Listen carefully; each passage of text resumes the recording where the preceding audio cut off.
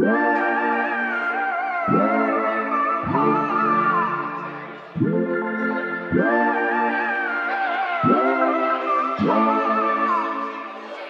Say that she a wanderlust, but she ain't seen the world so much to do at 21. You feel invincible, so hard to find someone to trust. She still a daddy's girl, she wanna be an actress and a singer like Selena. And she a movie buff, but she ain't seen breakfast at Tiffany's or Breakfast Club. That's just before her time, so hard to keep a conversation when your mind's on vacation. You got pretty green eyes, I can see them dollar signs,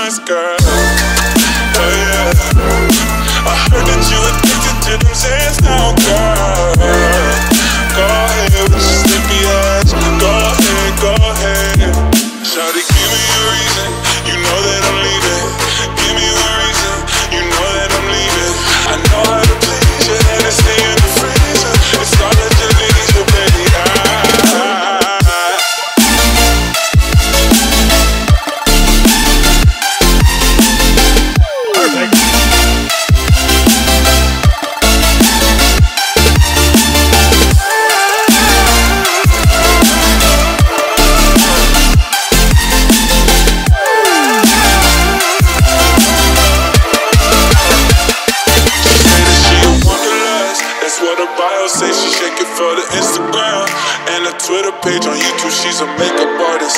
Hollywood apartment. She's a bartender and a part-time model. All her friends are verified. Wow, man, that's so cool. Wow, girl, can we hang out? Let's take a thousand pictures like the hype beast now. People saying that we're goals. That's all I ever wanted. Fuck the haters, fuck the trolls.